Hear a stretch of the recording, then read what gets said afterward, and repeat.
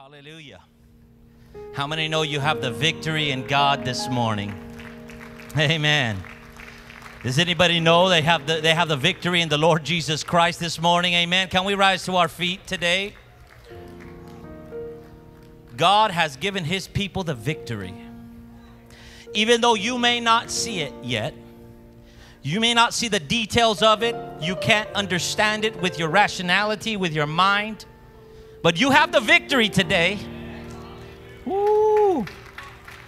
And can I tell the church this morning that even though you may not be able to see it, you could still praise Him for giving you the victory, right? Because God is faithful. He has been faithful yesterday, He is faithful today, and He will continue. Hallelujah. He will continue to be faithful. Amen. How about we lift our hands right now? We just glorify the Lord Jesus because He's on our side today. We love you, Lord God. We thank you, Lord Jesus, this morning for all that you are doing in our lives today. We thank you, God, for the Holy Ghost. We thank you for your blood. We thank you for your name, God, that is a strong tower today. Your name that assures us the victory. Your name that assures us, God, protection. We thank you for your name today. Oh God, we praise you, God, for that name because you've given us a reason. You've demonstrated by your power your goodness today. Hallelujah. Woo! Church, as we go in this morning, I feel the Holy Ghost. How about we praise Him with victory in our spirits today? Come on. How about we praise Him with victory in our hearts and in our minds? Come on. Somebody lift up a joyful noise to God and a sound to heaven, giving Him glory this morning.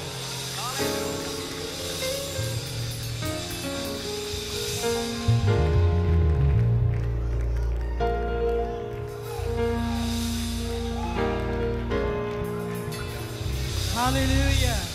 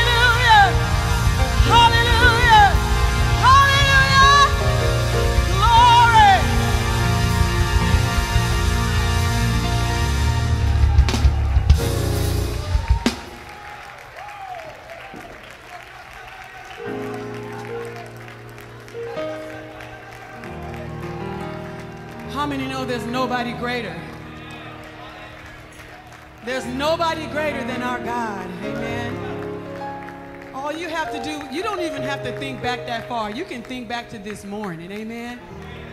He woke us up this morning. He started us on our way. Amen. We have the activity of our limbs. Amen. He's such a great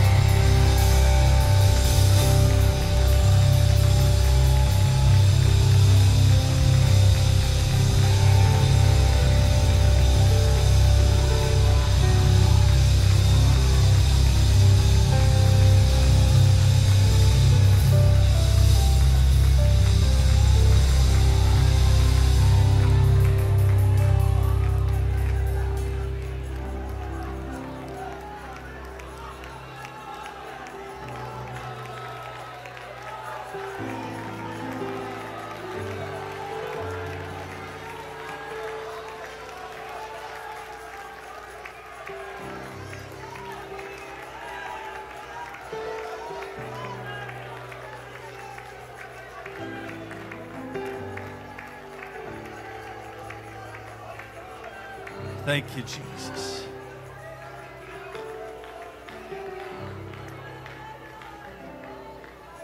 I would like us one more time, all across the building. Uh, You've heard it preached here. If you haven't, you're going to hear it from me. How, how powerful the unity of the body of Christ is. So, would you right now, in this unity, would everybody in the building, would you stand with me? If you can, would you please stand? And I want us to really let the Lord know how good He is. I feel His presence here in a tremendous way. And He's already ministering to people. Those that don't want it aren't getting anything. I watch people stand there and get nothing out of this. And that amazes me. When the presence of the Lord is in here, all you got to do is reach out and just touch Him. That's all you have to do. So, would we do that together right now? Would you just reach out and just touch Him and just let Him, Lord? Thank you, Lord. Thank you for touching my brother.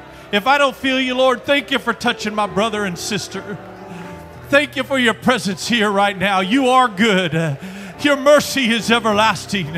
Your truth endureth to all generations. Come on, somebody in this place, would you just touch him uh, and let him know right now, hallelujah, how good he is. Oh, hallelujah. Hallelujah, hallelujah, hallelujah, hallelujah, hallelujah, hallelujah. Oh, come on, church, that's it. All across the building. Uh, would you just let it out? Uh, would you just give it to Him? Uh, would you honor the King? Uh, would you honor the Savior of your soul? Uh, would you honor the Master of the universe? Uh, would you honor Him?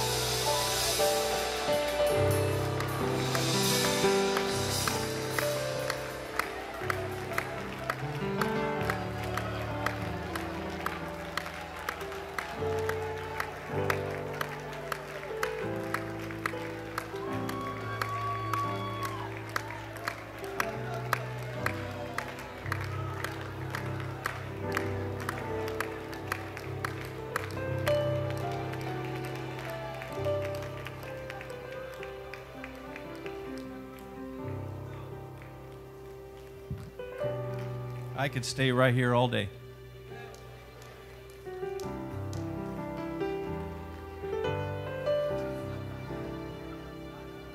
Mm. What an atmosphere we have right now. As I was standing over at the side, I often think, okay, we're going to come and lead in prayer. We're going to pray for one another. But it's a, there's a human tendency to always think about yourself first. It just is. It's not not an evil person because you think that. But there's a human tendency to think about yourself first. But there's a principle that the Lord wanted to teach us, and that is it is more blessed to give than to receive. That just, it's always confounded me in so many different ways, but it's still true, and I've watched it work. It is more blessed to give. And you say, well, how does this fit in prayer? How much more do you give in prayer than you try to get? There's so many people that need your prayer right now. When I look across this audience here today and I see in my finite mind, it means it's limited, and the unlimited mind of God, how He knows you already. But the amazing part about it is, you know someone here today, yourself, that needs prayer. Would it be more blessed to give? How about let's do our kingdom prayer? You know someone in this city, you know somebody that they need to be in this house. They're trying everything and it just ain't working. Like the song said, they've looked, they've searched, and they don't got anything. But could we pray this morning with knowing that it is more blessed to give than to receive? So I want us to pray for our valley. We're going to pray together. I want us to pray for the city of Stockton. I want us to pray for this nation. It's in a mess. If you haven't figured that out yet, it's in a mess. And it doesn't look like anything's going to change anytime soon. But I do know one thing that He's in control. And you know the next thing I know? Hear me when I say this is your prayers matter. I don't care if you're the only one praying for someone else. That's all God needs. Is someone to respond in faith. So would you bind with me? I, and and I'm, I'm passionate about this. If we're going to do it, why waste time doing it half-hearted? Let's do it. Go home if you're half-hearted. Let's pray. There's a soul outside these doors. There's, there's a city outside these doors that needs Jesus bad. So, would you join with me right now? Knowing that your prayer is going to work right now. It's going to touch somebody here in this valley today. When you pray right now is going to touch somebody in this valley. Would you believe that with me right now? Would you lift a hand toward heaven right now? Would you pray for someone? Call out their name right now. Call their name out. Come on, call their name out. Your neighbor, the one you work with on your job. In Jesus' name, Lord.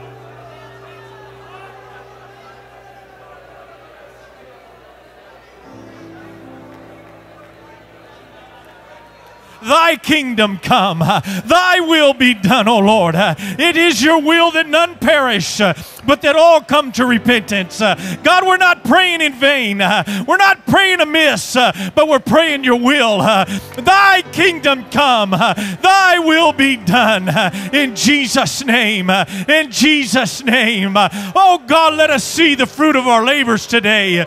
Let us see the fruit of our labors today. Every prayer that's been prayed here today today. Uh, let a soul be touched. Uh, let a heart be touched. Uh, let a spirit be revived. Let someone be renewed in the Holy Ghost. In the name of Jesus.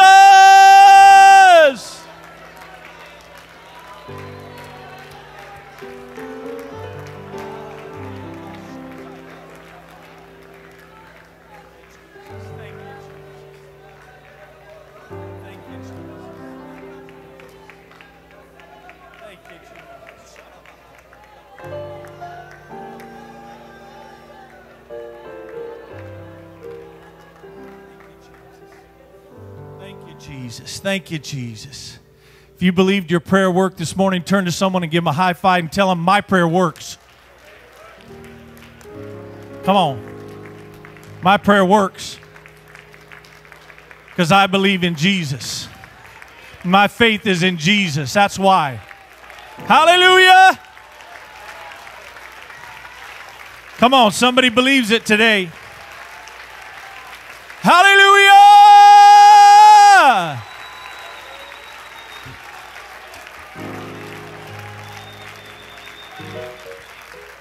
Don't you doubt it.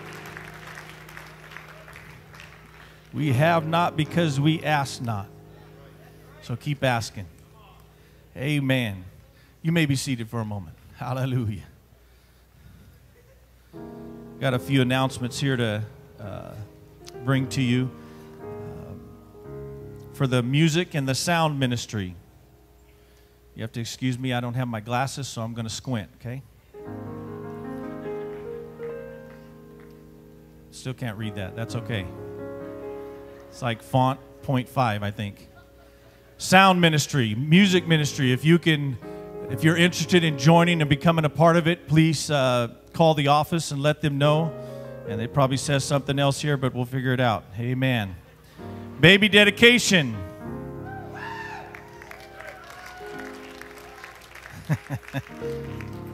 Sound like a daddy over there?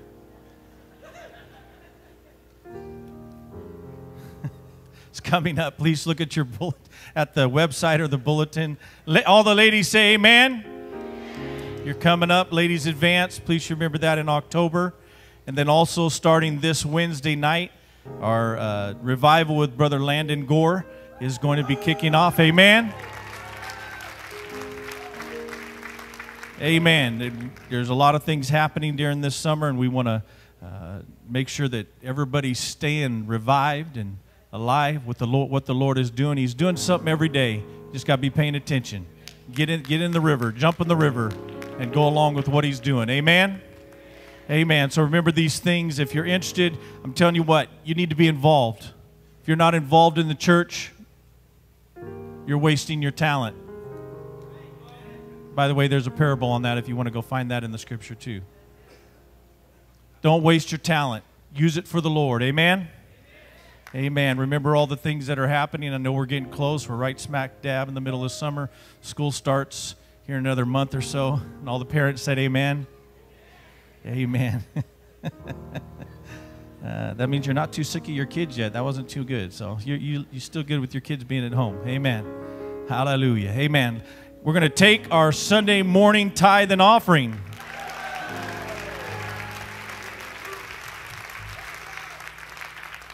Amen.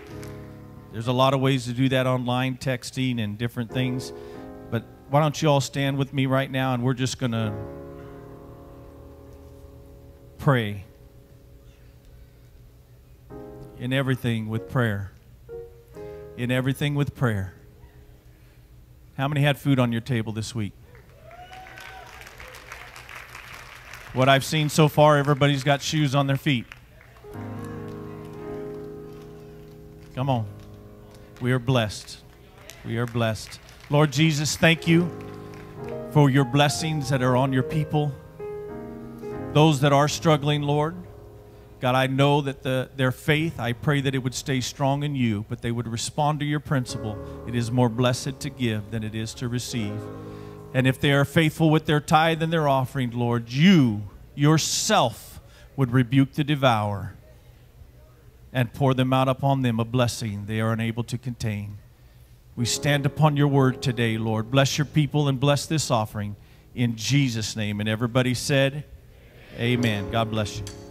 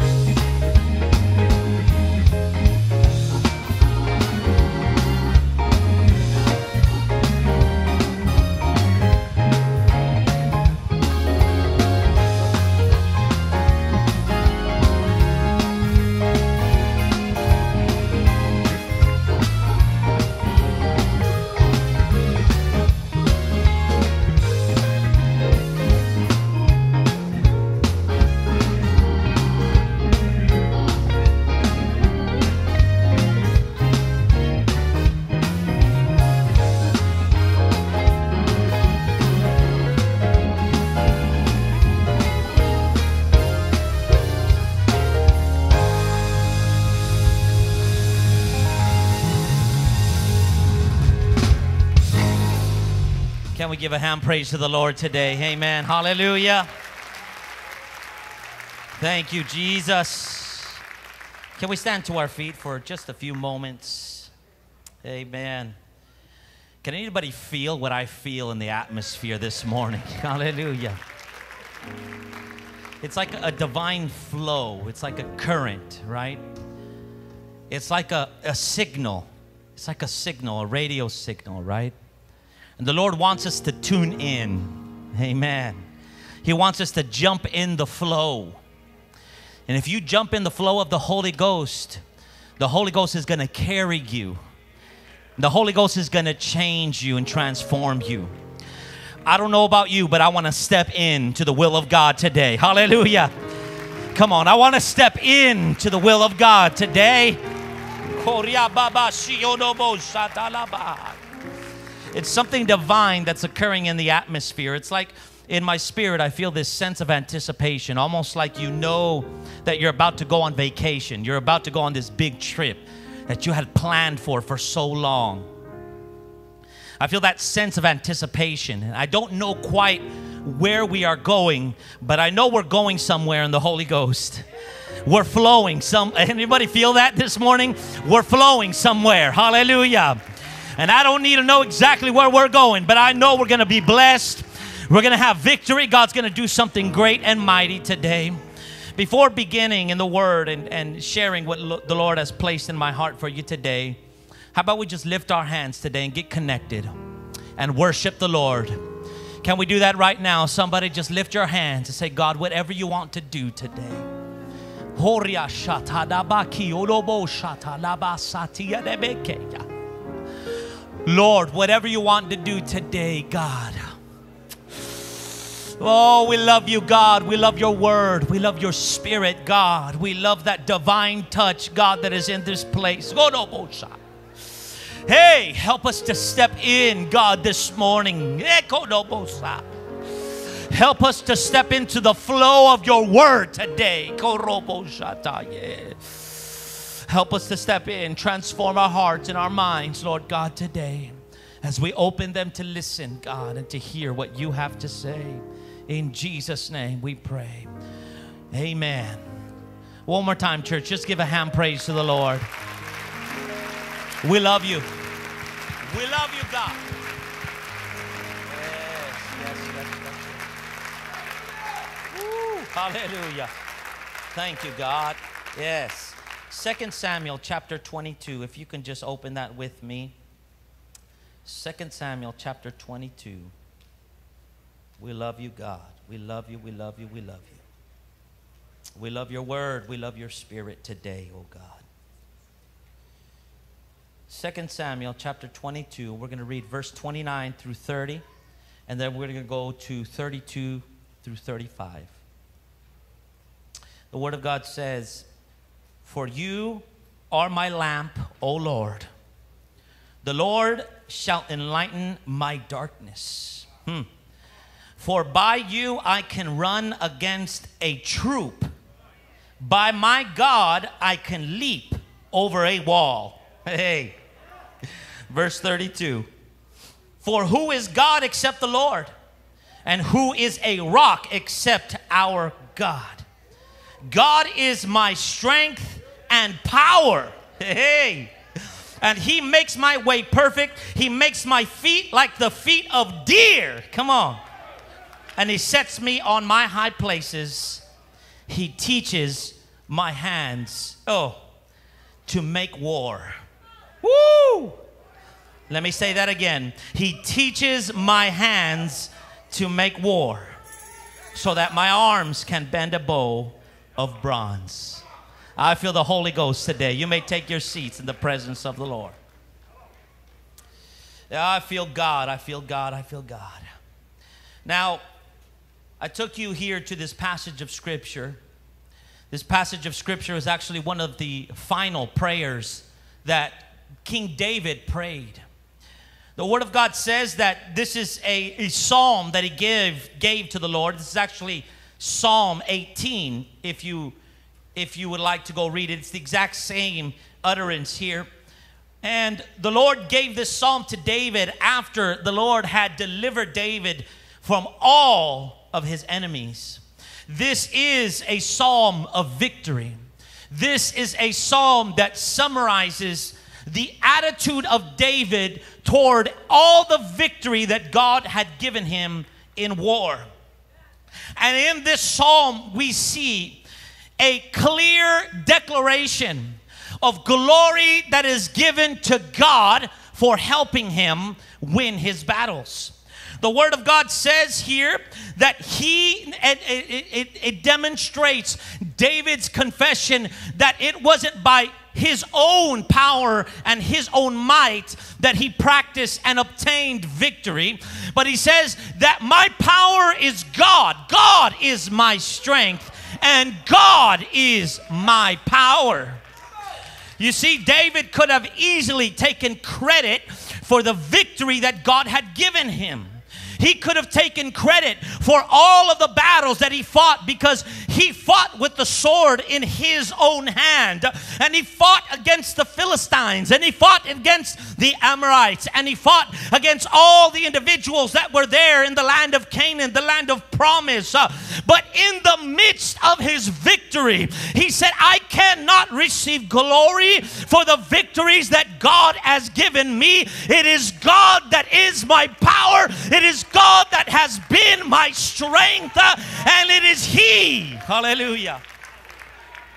Woo. You see, one of the most powerful parts of this scripture here is it says that He teaches my hands to war. We're talking about a seasoned warrior speaking this.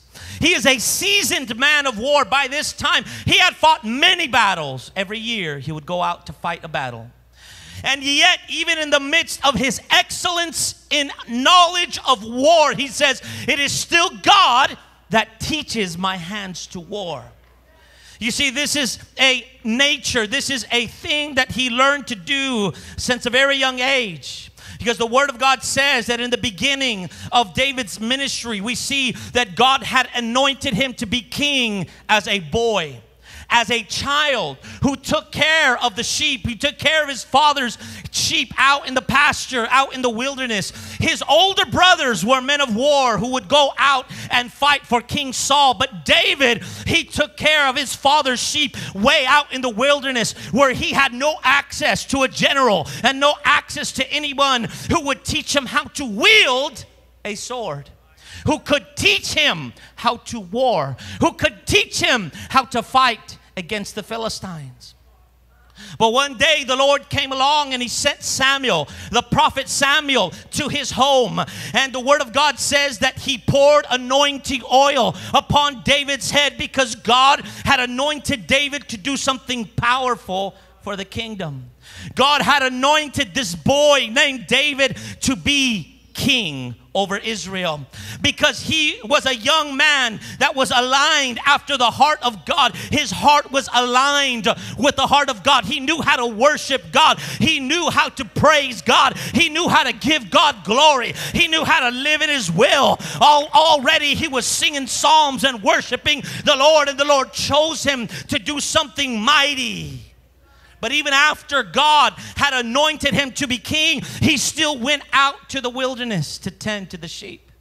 He still went out to the wilderness where there was no one to be a mentor to him, no one to tutor him, no one to tell him, look, this is the strategy. If you're going to win a battle, you have to do it this way and do it that way. And if you're going to wield a sword, you got to swing it this way and you got to swing it that way. If you know anything about war, war is just not about shooting wherever you want to go to shoot and swinging however you want to swing. If you have no training, you're going to die. But yet, here is a young boy who was anointed to be a king over a kingdom.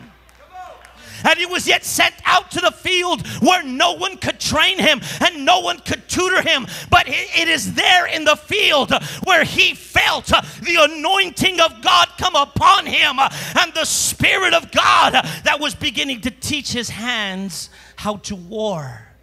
The word of God says that out in that field that the lion and the bear would come. And when the lion and the bear would come to take the sheep that he was in charge of, the anointing would come on him to fight these animals and to fight them off from the territory that God had given him. And in the midst of those experiences, God was teaching his hands how to battle and teaching his hands how to war. The time came when the Philistines would come and they challenged Israel. And a great warrior came named Goliath, a great giant came to meet with Israel. This giant challenged them and said, Hey, you give me your best, and I am the best of the Philistines. You send me your best, let's fight. And whoever wins is the Lord of the other nation. And nobody wanted to challenge Goliath, but there was one young boy one young man. And you see, he was already known by that point in time. If you read the Word of God, you, we see that they actually already knew about David. They already knew about him. He wasn't unknown, he wasn't some unknown young man. He was a young man that they knew. Look, this guy, he's already done things and he's killed lions and he's killed bears. He's done all, he was already a great man, but he had not fought any real wars. He had fought animals. He had fought lions. He had fought bears, yet he knew what it meant to, to, be under the unction of the power of God. This is why when he went out to meet Goliath, uh, he knew that it's not by sword, it's not by might, uh, but in the name of the Lord. Woo! He knew he could have victory in the name of the Lord because it wasn't by the skills of his own hands, but by the anointing of God that was guiding his hands to fight. This is why David could clearly say, He teacheth my hands to war. Because before then, he didn't know how to fight giants, he didn't know how to fight Goliath, but he knew there was something on the inside of him that was moving him and driving him to victory. Wow, this is so powerful here. Because the Lord had called him, the Lord called David a man who truly was unfit from the eyes of man to be a king over a nation. A young man that by the rationality of, man, of, of mankind, if you would measure him up to all of the other warriors of that time, he was not good enough. He was not educated enough. He was not experienced enough. But the anointing of the Lord was upon him. The anointing of God was in him. You see, I relate so much to this, and I believe this is a concept that the church of the living God can relate to completely. Because so many of us, we were not born in this thing. And even those of us who were born in this thing, many times it took us a while to get on board. And we don't have experience many times. We haven't had experience with living for God and experience in doing things for God. And even those who have had decades and decades of experience, uh, the truth is is that we have a foe that's not just tens and hundreds of years old. We are against a foe that is thousands years old and has had experience fighting against the will of God. We're talking about a satanic realm that even if you've been living for God since your childhood, he already has more experience than you. He already has more he has he has more battles than you. He knows more than you. Yet here we are a people called by God to be the established kingdom of God on earth. And who am I to think that I can come against Satan and win? If somebody would measure me against him, they would surely see, oh, he's not good enough. He's not smart enough. Oh, man, the enemy knows more than him. But what the enemy cannot plan for is that I've been anointed by the Spirit of God. You see, it's not by my own power that I'm here. It's because it's the power of the Ancient of Days uh, that is invested in my spirit. Because God is our power and God is our strength. Oh, I feel the Holy Ghost today. Woo! See, I feel the boldness of God, and it's not because I'm arrogant, it's because I know the God that I serve is mighty. He is mighty. He is mighty. He is mighty and he works victory through his people. However, the war that David fought, the war that David fought in his time, it is not the same as the war that we fight today. The war that we fight today is a bit different. Therefore, if we are going to learn from the experience of David, where God taught his hands how to war, we are going to have to locate the place of battle and war for our age. Because the war that we are fighting in our age it's not a war of political lines and it's not a war of national lines and citizenship. It's not a war of the kingdoms of this earth. So we need to locate the place of our war and our battle very clearly now, this is why I want to take you here to Ephesians chapter 6, verse 10. Hallelujah.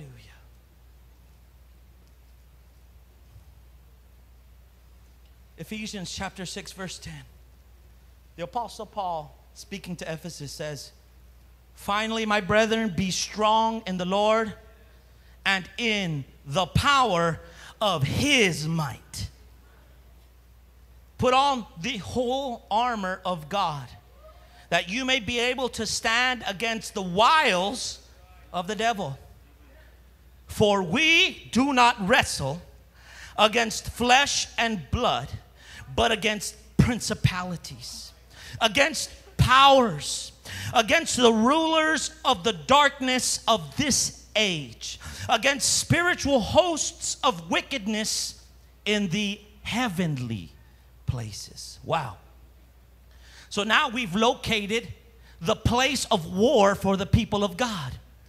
It is not against flesh and blood, but it's against the principalities that are driving the flesh and blood, that are behind the flesh and blood.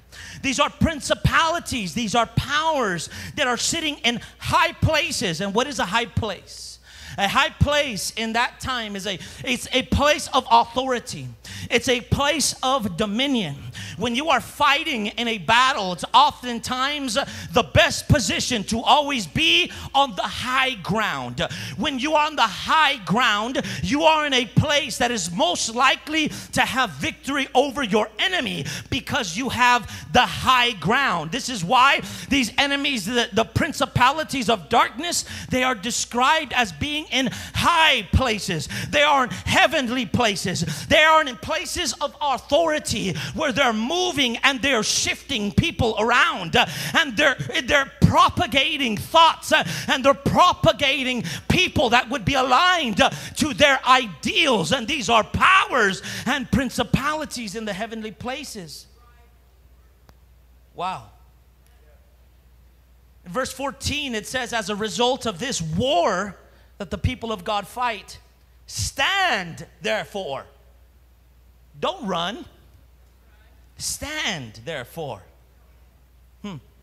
Having girded your waist with truth, having put on the breastplate of righteousness, and having shod your feet with the preparation of the gospel of peace. Above all, taking the shield of faith, with which you will be able to quench all the fiery darts of the wicked one. And take the helmet of salvation and the sword of the Spirit. And this next part is very important the sword of the Spirit, which is the Word of God. Wow. Hallelujah. Wow. So we see here in Ephesians, the Apostle Paul, he is speaking a word.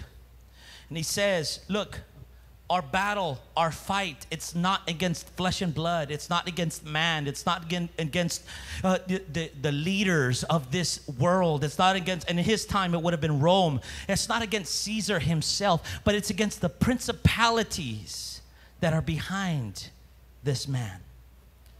You see, that in Ephesians, he goes on to say, Put on, put on in your waist Take up the whole armor of God. It says, Have, having girded your waist with truth and the breastplate of righteousness and the helmet of salvation, the sword of the Spirit, which is the word of God. See, this isn't the first place that this kind of language is expressed.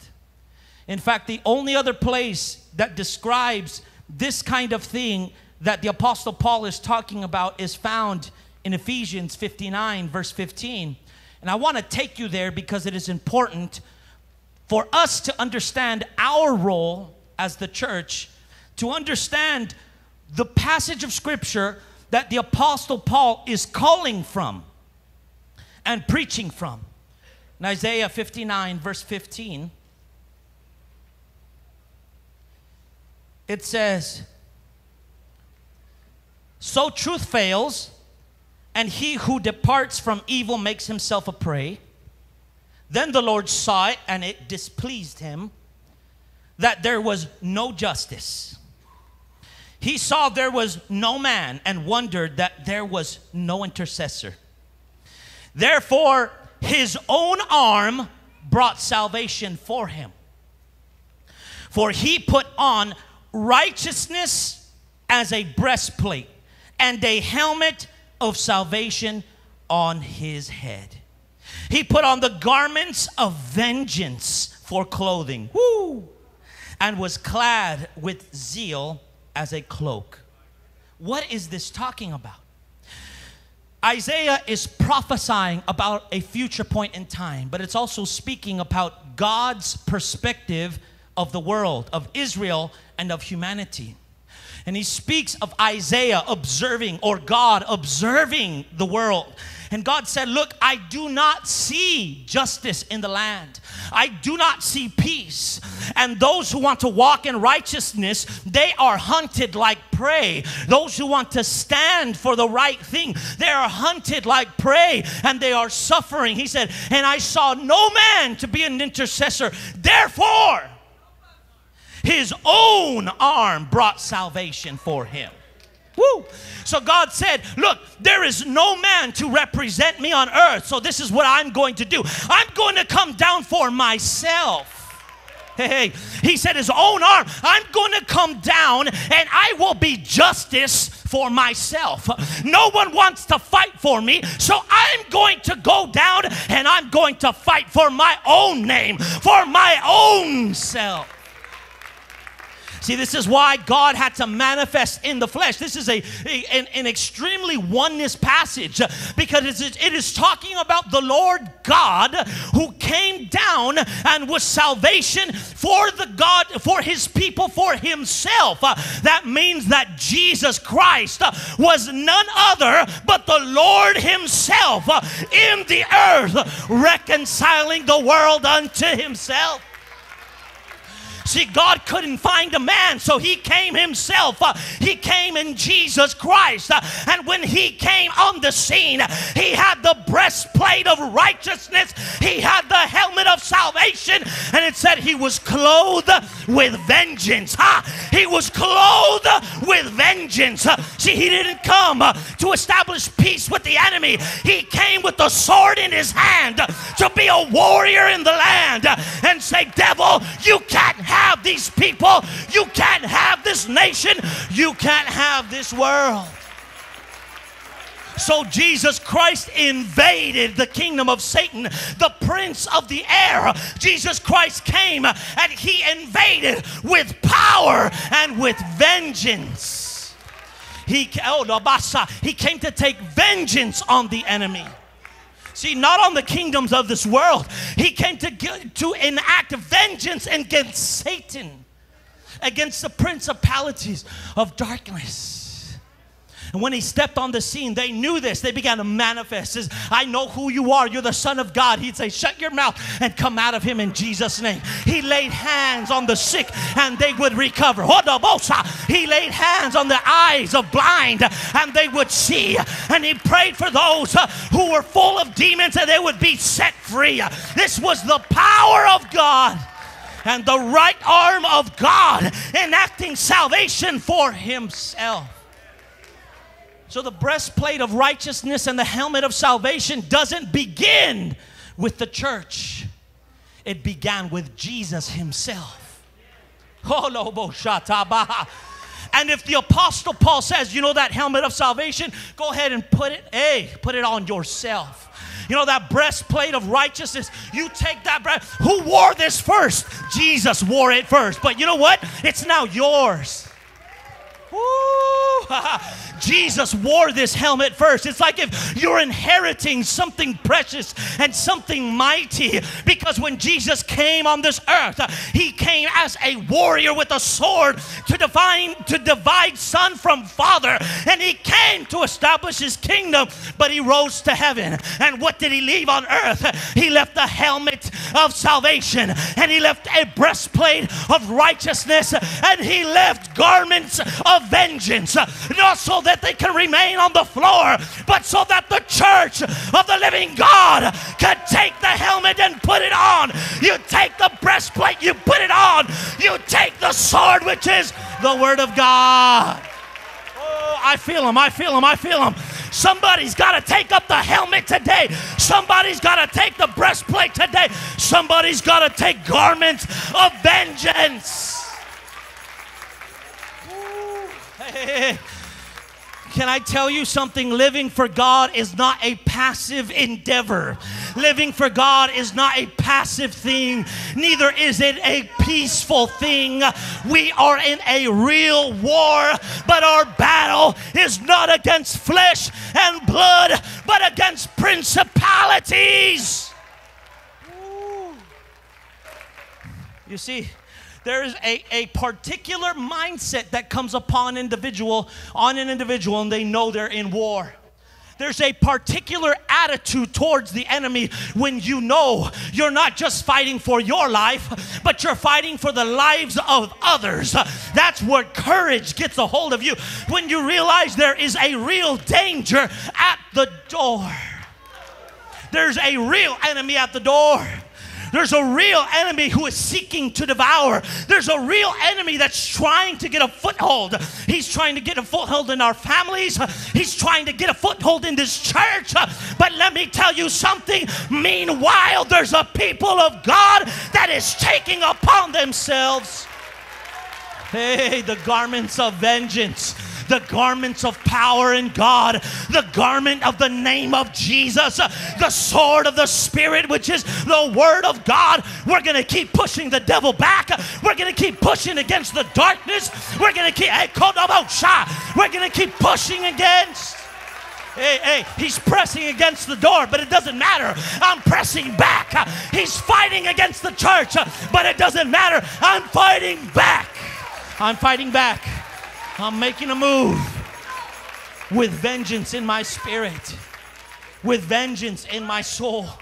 The enemy has tried to tackle this church for too long.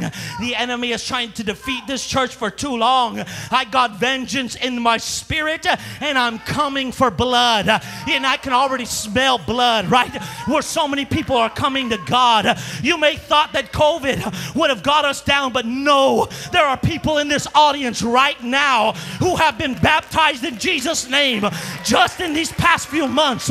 They've been filled for the Holy Ghost with the Holy Ghost. And I tell you what, Satan didn't want it, but last week I prayed for our city in our city parade. I smell blood in the camp of Satan, and I'm not slowing down because I got vengeance.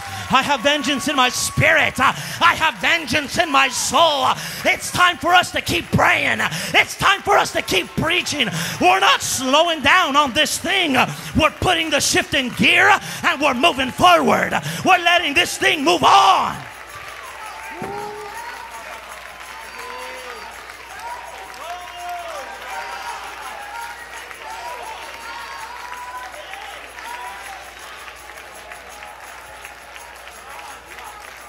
I feel him in the house today.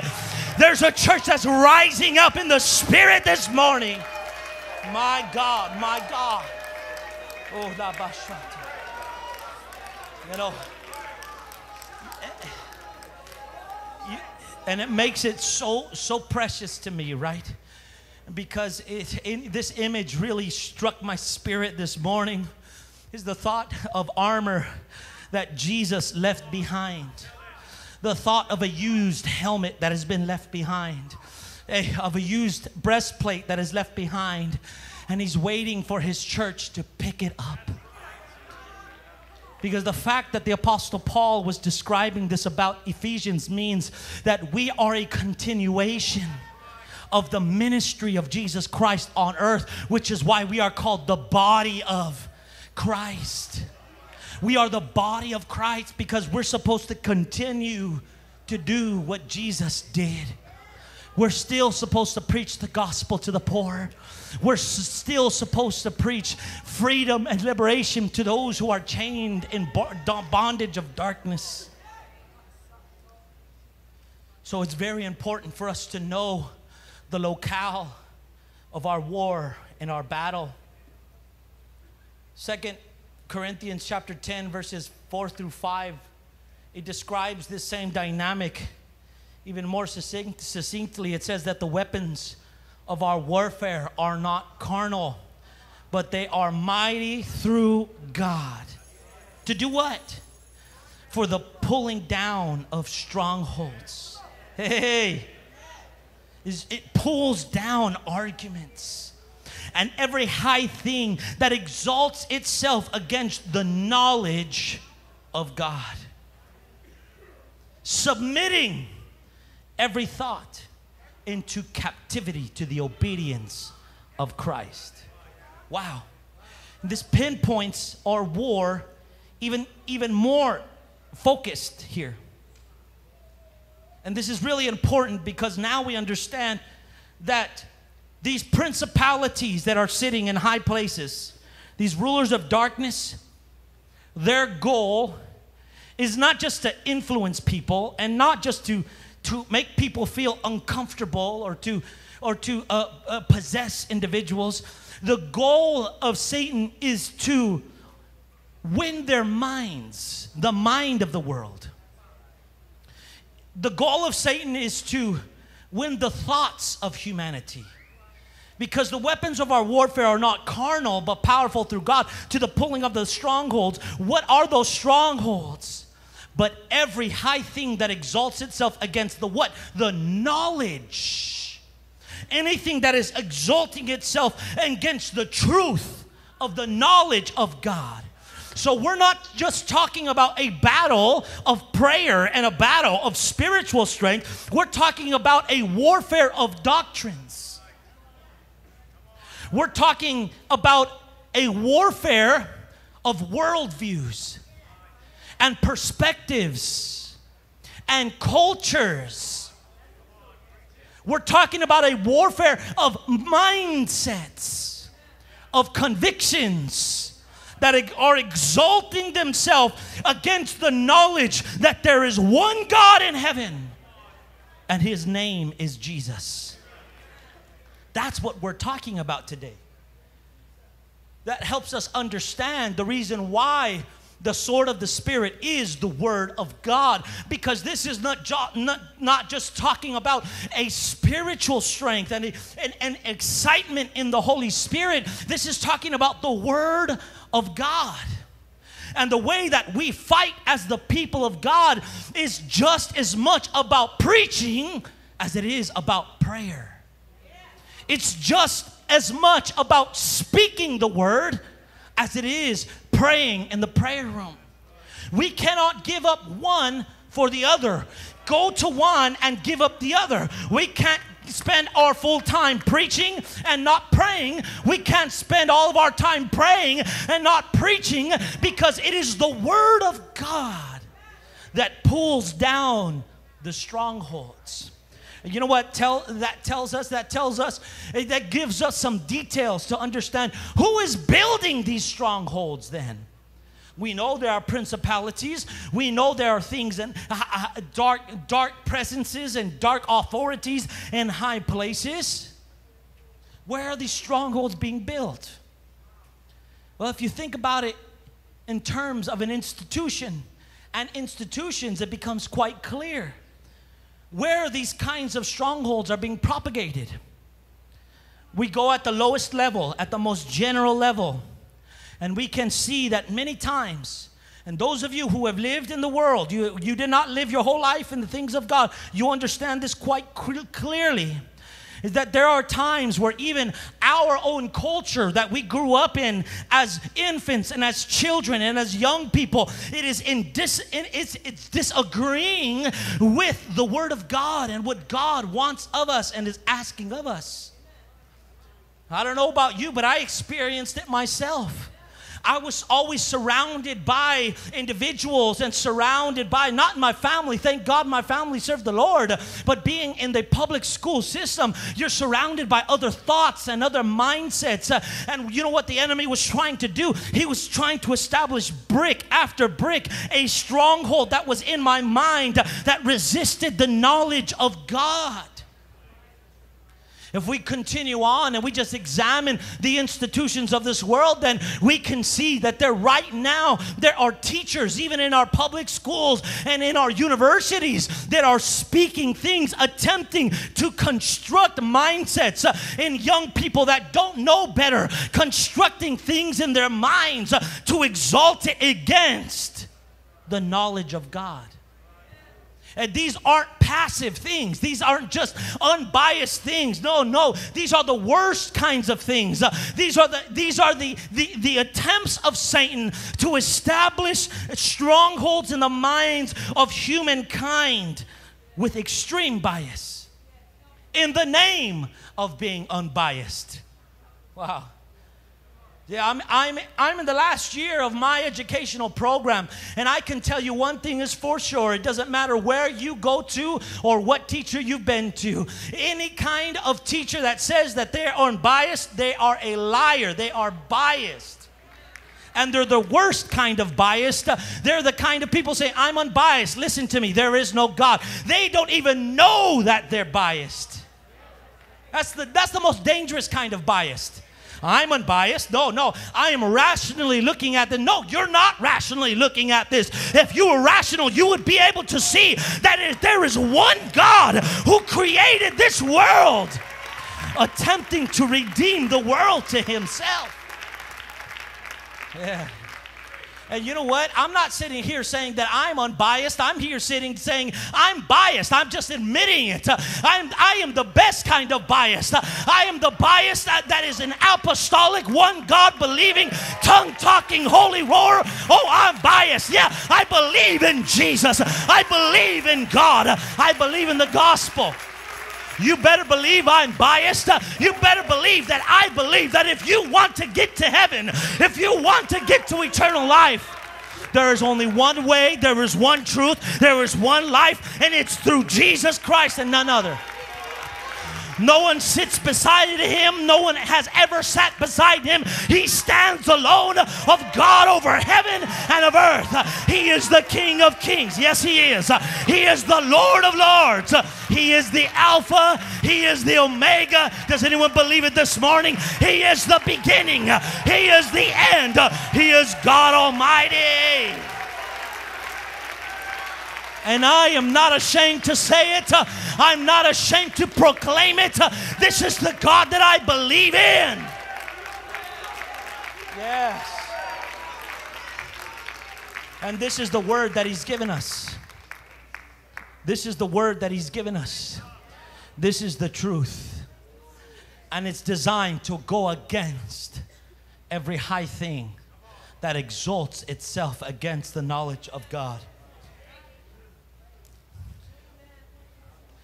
You see, it's, it's one of my greatest observations. I teach a class in, at Christian Life College called Comparative Religions. And I've, I've made this observation about different belief systems. We study Buddhism, Islam, and cults in the occult. There's another class at Christian Life College. We, ha- we study Jehovah's Witness. We study Mormonism. And we also study Santeria and voodoo and witchcraft. And in the years of my study and teaching uh, the students of Christian Life College, I've come to understand this. The places in which revival seems to happen more rapidly are places that are actually known to have more witchcraft. They're in second world, third world countries that hold on to things like shamanism, right?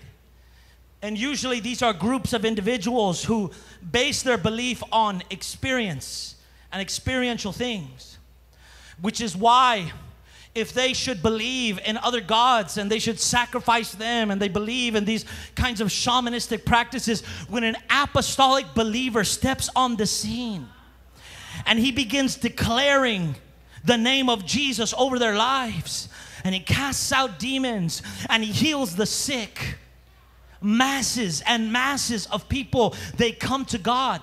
They come believing in Jesus Christ. You know why? Because the truth is is that a stronghold of conviction is a much stronger stronghold than possession itself. Possession is no match for conviction. Because you can rebuke the spirit from somebody, an evil spirit from somebody, but you cannot rebuke a thought. You cannot rebuke something that they've decided in their mind to hold on to. Those kinds of things you can't pray out, you got to preach out. Those kinds of things you can't just pray, you got to declare the word and speak the word and preach that out of their minds because we're talking of the strongest strongholds uh, are strongholds of doctrines, which is why it is in atheist nations, in nations that claim to have rationality and are consumed by atheist ideologies that are the most difficult to have revival in because they are less experiential and they're more based on the thoughts of the mind. You can't just go in and rebuke a spirit. You got to go in and preach the word. And- the word of God has got to get in them and change them and move them towards God. That's a similar spirit that's here in the United States. And us being so close to San Francisco, especially, and Berkeley, and all these institutions that are right now propagating systems of thinking that are against the knowledge of God. Right now, brick by brick, this young generation is being built up in ways of thinking that are naturally against the knowledge of God, that are resistant to the preaching of the gospel of Jesus Christ. But you see, that's not supposed to intimidate us. And that's not supposed to discourage us. I'm not saying that so that we can cower and we can give up and we can say, well, they're never going to believe in the gospel. No, no, no, no. The position of the church of the living God is never that of backing up or standing by. Our position is always that of aggression, forward moving, believing. Hallelujah that God is going to give us the victory. And if they don't believe it's all right, uh, we're going to keep preaching and we're going to keep praying. And if this city keeps on trying to resist uh, the will of God, there is still a church in Stockton, California that is declaring there is still a church in Stockton, California that is taking up the helmet of truth. Uh, It's taking up the breastplate of righteousness. We're taking up garments of vengeance uh, and we're going out to the streets. Uh, We're preaching the word of God and we're praying revival. Ooh. Hallelujah. Hallelujah. We're not to fear these cultural forming and these mental forming institutions that are cr- creatively conjuring doctrines and worldviews that are contrary to the will of God and the Word of God. No, because we have a doctrine of our own. We have a word of our own. And we have a God that's attempting to establish His own kingdom on earth. And you know, this is a kingdom that's not just experiential and spiritual, but it's a kingdom of doctrines as well. It's a kingdom of mindsets. It is a kingdom of a worldview. It is a perspective of the world. It is a way of understanding the world. It is a way of living your life.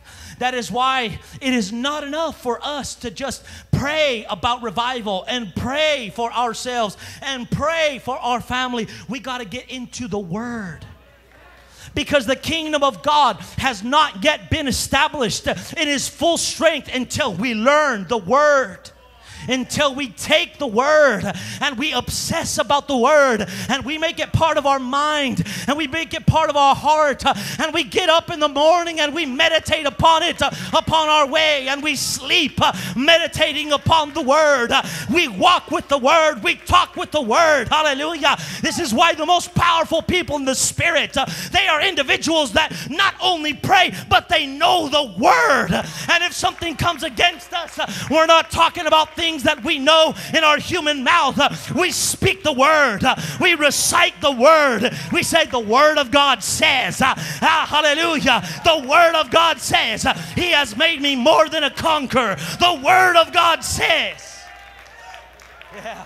Have you noticed that? The most powerful people in the spirit, uh, the most authoritative people in the spirit, they're not people who can quote uh, famous philosophical sayings, and they're not people who can quote the self help books uh, and all kinds of fancy and funny sayings to try to motivate. They're not people that are trying to access YouTube to motivate themselves, but they're individuals who know the Word of God and speak the Word of God even in the face of adversity even in the face of impossibilities. We speak the word, we say the word, we believe the word. We walk in the word. And you know what you're doing? Every time you pray in the word, every time you preach the word, you're taking the sword of the spirit and you're moving and you're fighting and you're moving forward. We got to get more passionate about the word. We got to get more obsessed about the word. The people of God, we have got to know the word of God. And in the time of trouble, when you feel like you have no way out, guess what God's going to give you? He's going to give you a word and you're going to speak it. Uh, You're going to speak it against sickness. Uh, You're going to speak it against your situation. Uh, You're going to recite it. You're going to say it. And God's going to show up. That's right, He is. He's going to show up. I don't know why it works this way, it just works. I don't know why God does it this way, He just does. You got to know the Word. Wow. Yes, yes, yes, yes. So we come back to the start of this message that I have to, for you today. We are in a war. We are in a fight. But our warfare, our battle, is not against flesh and blood, but against principalities, rulers of darkness, rulers in high places. You know who else is in high places? We are in high places because God has sat us in high places with Jesus Christ. The Word of God says that. And meanwhile, we're in this world, and this is what I want to say. Meanwhile, we're in this battle, it would be easy to feel inadequate. It would be easy to say, God, I don't have much experience, especially our youth, our young people. It may be easy for Satan to come to your mind and tell you, I'm not good enough. I don't know enough. I'm not strong enough. I don't, I don't know enough of the word. I don't know. But God is here to tell you this He's here to teach your hands how to war today. Yes, yes, He is. And if there's anybody else in this congregation, you feel intimidated, saying, I, I don't know if I could do this. I've never lived in this my whole life. And I, I don't know what the, what the process is. Uh, so many of us here, many times you feel like you don't even know how to praise God. How do, how do I know when to wave my hands and when to clap my hands and, and when to sing and when to shout? Uh, and how do I know when to preach the word of God and share the gospel with others? Uh, you may not know, but that's all right. You don't need, you don't need anybody to tell you how to do it here. The Word of God says that He will teach you. And you can pray that. You can pray that prayer. He, God, teach my hands how to war. Because the truth is, is that the kingdom of God is not slowing down. It's moving forward. And there's momentum in the Holy Ghost. And the closer we get to the last days, the more God is going to require His church to be in situations that we are not trained for, that we don't have experience to be in. God is going to take many of you in this season of revival because God's bringing revival. He is. In the name of Jesus, we're going to see this church filled. We're going to see it filled. Hey, Kodobosha. And I rebuke the word of Satan that wants to resist that. We are going to see this church filled. Yes, we are. I feel that in the Holy Ghost. Ooh. But you know what that's going to require? That's going to require you to take jobs that you're not trained for. Why? Because there is a harvest of people in that new job there's a harvest of people in your new place of employment that you need to reach with the gospel. God's going to take some of you young people into educational institutions with professors who have way more degrees than you. But you know what's going to happen? God's going to use you to win them and pray over them. That's right. Your, this church is going to put, be put uh, into situations. This people, you, you, you're going to be put in situations uh, that you're not trained for, that you're not ready for. But when you're in the midst of that situation, remember this word uh, that I'm trying to give you today. He teacheth my hands to war. He teacheth my hands to war. God, I don't know how to do this, but teach my hands to war. God, I'm in a situation that I don't recognize, it's a, but you teach my hands to war. Lord God, I'm about to do this Bible study and I don't feel like I have enough to give to them. Uh, he teaches my hands to war. Lord God, I've only been in church a few months, uh, but this person, he wants to know about who God is. He teach my hands to war. Lord God, I've never preached this, I've never been this. Teach my my hands to war. God needs a people that are just willing to pray and say, God, teach my hands to war. Teach my lips to preach. Teach my mind to understand. Teach my heart to receive. You see, I know what that prayer is all about uh, because I, I am in a situation now and I have been in situations. Those of you who heard my testimony a few weeks ago on a Wednesday, you know I'm not supposed to be here, right? I got I'm in the middle of my PhD, but can I tell you I didn't even graduate high school.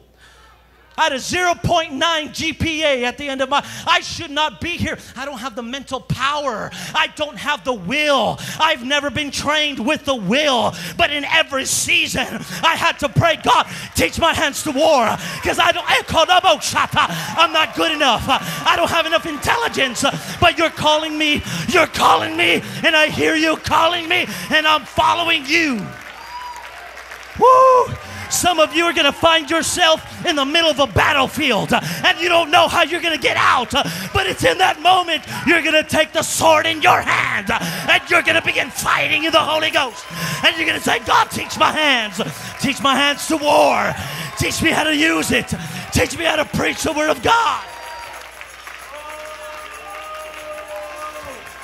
See, that's about all the voice that I have left. But I'm trying to convince somebody today. You have the victory. You have the victory in Jesus. Don't be afraid. Don't be afraid to move forward. If God's calling you, if God's anointed you, He's going to empower you. He's going to give you the strength that you need and the anointing that you need. Can we stand to our feet today? My question for this church this morning is there anybody who's willing to pick up the helmet of truth, the breastplate of righteousness, and the garments of vengeance? Is there anybody willing to go into these situations uh, where God is going to teach your hands uh, how to war? He's going to teach you how to fight, uh, He's going to teach you to be what you need to be. Come on. There's an inheritance of war this morning. God has left his helmet down. He's left his breastplate of righteousness. He's left the sword of the Spirit. And he's waiting for the church to pick it up. He's waiting for you to pick it up in prayer. He's waiting. Eh, he's waiting for somebody. Somebody pick up the helmet of Christ. Somebody pick it up. Somebody pick up the armor. It's time. It's time for eh, It's time for this church to march on. We're marching on in the Holy Ghost. We're marching on in the name of Jesus. We're marching on with the sword of the Spirit. Hey, God, teach our hands to war today. Hey, teach this church how to war. Teach this church how to battle in the Spirit. Teach this church how to move into revival. Teach this church. Rabasiki Olobosha. He's teaching you right now. He's teaching you. Somebody pray in the Holy Ghost. God's teaching you. You may not feel like you're good enough, but God is calling you. He's calling you right now. He's calling you right now. Uh, somebody pray in the Holy Ghost. Somebody pray in the Holy Spirit. Somebody pray with war in your spirit. Somebody pray with vengeance in your soul. I'm going to get my family back. I'm going to get this city back. I'm going to get this church back. Somebody pray with vengeance. Eh,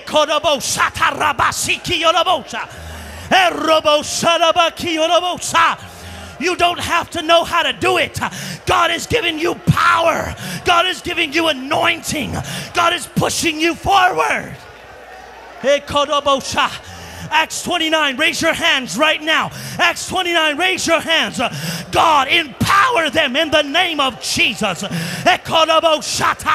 Fill them with boldness. Fill them with wisdom. Fill them with knowledge of your word. Your anointing upon them. God, more than ever before. God, with the passion to serve you, with the passion to live for you. Hey, somebody pray. Somebody pray in the Holy Ghost. Somebody's taking up their armor this morning. Somebody take up your armor. Somebody take up your armor. Take up your courage. Take up your courage. Your courage and move on. Take up your courage and march on. Take up your courage in Jesus' name.